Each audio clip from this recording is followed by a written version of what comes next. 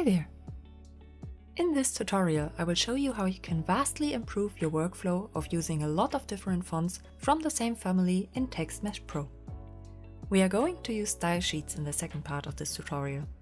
If you don't know what they are or how they work, I made a video on them. You'll find it here.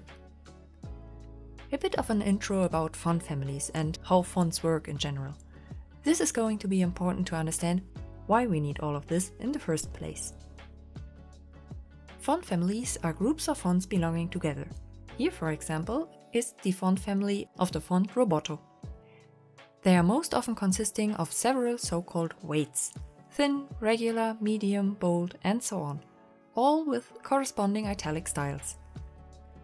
The range of fonts helps designers to craft a consistent look of a product while still having a couple alternatives to choose from where needed and making sure the letters' shapes lend themselves to being easily read and understood.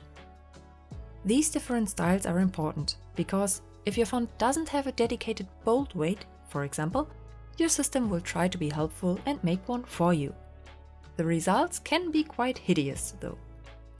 Also, this happens all the time while working with TextMesh Pro for example. Alright, I hope it became clear why it is important to use a font family if more than one weight of a font is needed in your game. You need it for clear typography and readability. The question of how to use them remains.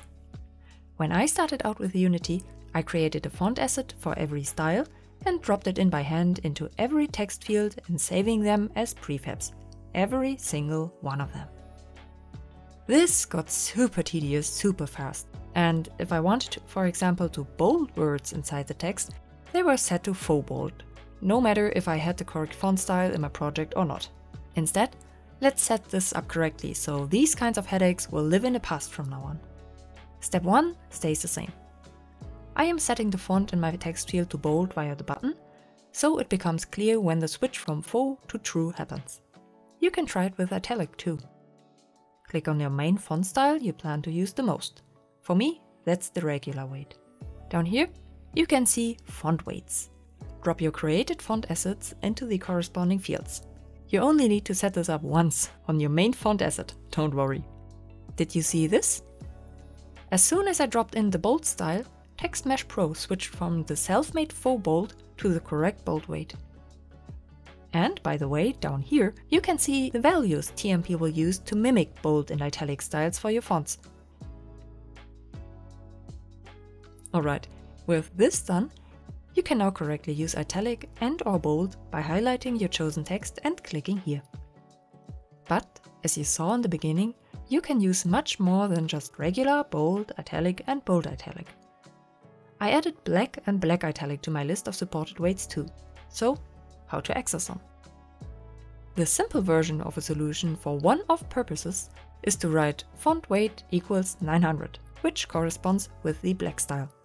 Do not forget the corresponding closing tags around the part we want to be affected. The much better and easier to maintain version will be using style sheets. Create a new style sheet entry with a useful name. I will use black for this. Pick a name you'll easily understand inside your project.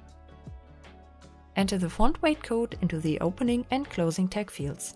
For me, that's font weight equals 900. Check your font family if you're not sure which one you need. Now you can apply this weight either to the whole text box via the drop-down labeled text style or by using an inline style like this to limit the use to only parts of your text. So, if the results of font weight and style equals black are the same, why use a style sheet at all though? Easy. You can change the text in your style sheet at any time and the changes will instantly be applied to every place you used it. Let's recolor this style for example. I add this color tag to it, close the tag, and all the instances will be recolored and still use the black font weight. I hope you enjoyed this tutorial. I love typography, and I hope you guys will find working with fonts at least a little bit easier now. Please let me know if you learned something, or if something wasn't as clear as I hoped it to be.